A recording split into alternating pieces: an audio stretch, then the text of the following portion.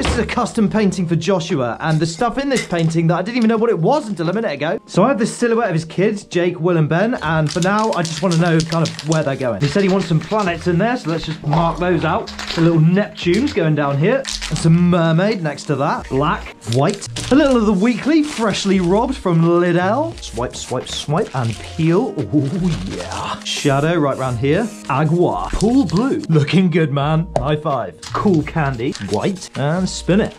Beautiful. Dry. Now these are dry, we can cover them up with some bowls and lids. I want to start the sky with some black up top and fade that into some dark blues. Let's add some flame blue. Oh, that's dead. Flame blue space gas. Now some of that sticky. Flick a few stars on. And a rush of cool candy through here for no reason. Skadoosh, skadoosh, skadoosh. And we can pull these guys off.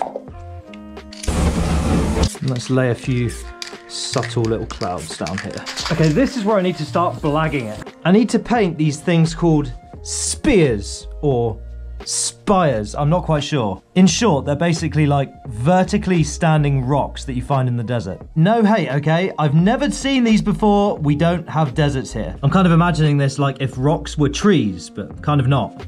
You know what I mean? That's the thing about art. As long as you know what you mean, it's fine. Yep, this was a good idea. Now I want to come back in with that cloud cover.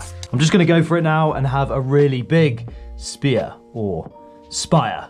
Something like that. Yes, I know what I'm doing. Dry brushing is a natural technique with spray paint art because the paint fricking dries before you can do anything with it. And I want some concrete and ant grey. We're going to give these spears kind of a dark side and a light side to accentuate that detail. No, on the light side, I want those blues. We're not filling this in, we're just adding one little accent color at a time. Build up those values with some lighter shades. With some of this flipper blue, we're gonna give it quite an intense final highlight.